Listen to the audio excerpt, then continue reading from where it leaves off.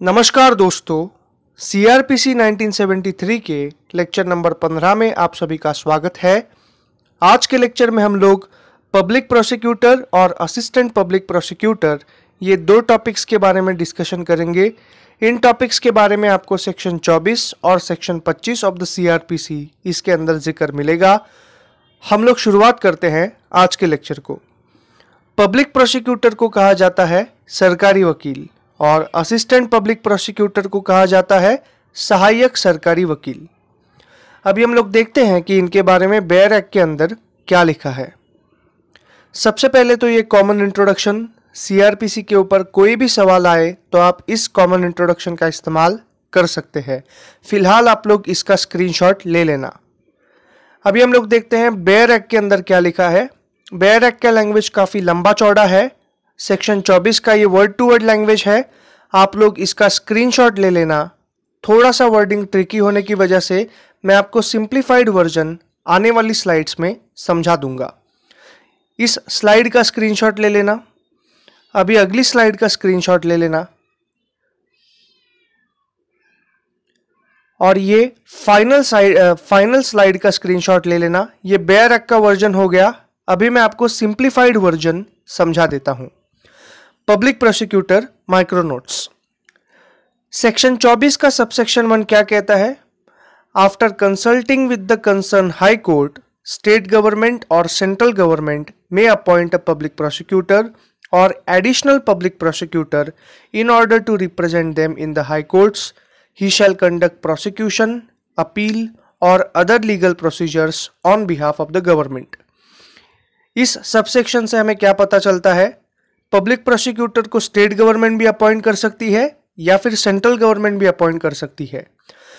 Public prosecutor या फिर additional public prosecutor इसके अंदर फ़र्क क्या है?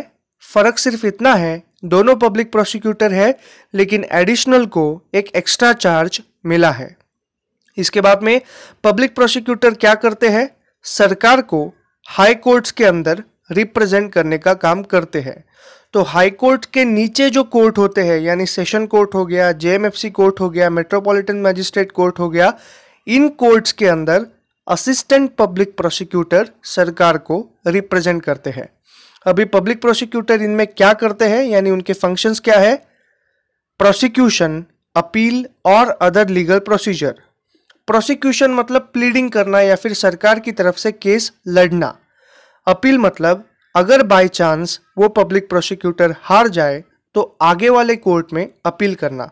और अदर लीगल प्रोसीजर यानी एफिडेविट फ़ाइल करना, या फिर कैवियाट फ़ाइल करना, या फिर और भी कोई लीगल प्रोसीजर्स सरकार की तरफ़ से फ़ाइल करना, इसे कहते हैं पब्लिक प्रोसिक्यूटर का तीसरा काम। सेक्शन 24 का सबसेक्शन टू हमें क्या बताता है? Central government may appoint a public prosecutor in a district और ग्रुप ऑफ़ डिस्ट्रिक्ट मतलब सेंट्रल गवर्नमेंट हर एक ज़िले के अंदर या फिर ग्रुप ऑफ़ डिस्ट्रिक्ट के अंदर अपने रिक्रूटमेंट वाले पब्लिक प्रोसिक्यूटर्स अपॉइंट कर सकता है, लेकिन सेंट्रल गवर्नमेंट के ऊपर कोई कंपल्शन नहीं है। मे शब्द ये इंडिकेट करता है। लेकिन section 24 sub section three state government के ऊपर हर एक डिस्ट्रिक्ट और ग्रुप ऑफ़ डिस्ट्रिक्ट के अंदर अपने आप को रिप्रेजेंट करने के लिए पब्लिक प्रोसिक्यूटर अपॉइंट करने का कंपल्शन डालता है। अभी सेक्शन 24 सब सेक्शन फोर क्या कहता है? The district magistrate in consultation with the sessions जज shall prepare a list of suitable people in the district to be appointed as public prosecutor और एडिशनल पब्लिक प्रोसिक्यूटर प्रैक्टिकली मैं आपको समझाता हूँ, क्या होता है? स्टेट गवर्नमेंट के द्वारा यूजुअली हम लोग महाराष्ट्र के बारे में बात करते हैं, महाराष्ट्र के अंदर क्या होता है? एमपीएससी के द्वारा असिस्टेंट पब्लिक प्रोसिक्यूटर का एग्ज़ाम कंडक्ट किया जाता है। जो भी कैंडिडेट इस एग्ज़ाम में सिलेक्ट होते हैं, वो असिस्टेंट पब्लिक प्रोसिक्यूटर बनते हैं, यानी स्टेट गवर्नमेंट को लोअर कोर्ट में रिप्रेजेंट करने का काम करते हैं।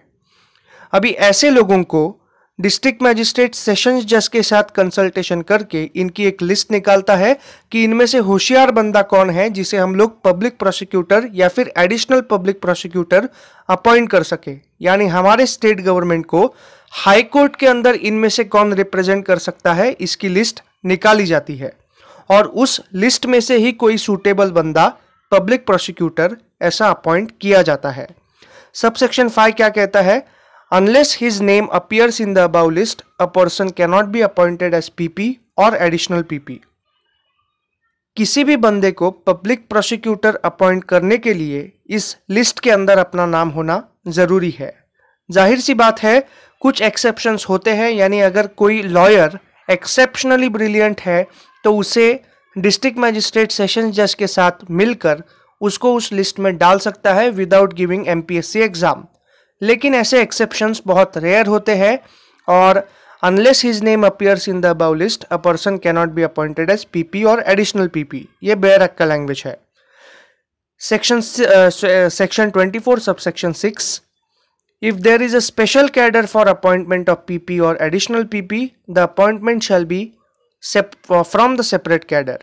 मतलब जैसा मैंने अभी आपको कहा कि असिस्टेंट पब्लिक प्रोसिक्यूटर का एक separate cadre state government exam के ज़रिए रिक्रूट करता है तो उन्हीं लोगों में से सुटेबल कैंडिडेट्स का लिस्ट बनाकर पब्लिक प्रोसिक्यूटर के लिए भेजा जाएगा section 24 subsection 7 In order for a appointment of PP or additional PP, there should be a 7 years of experience of practice.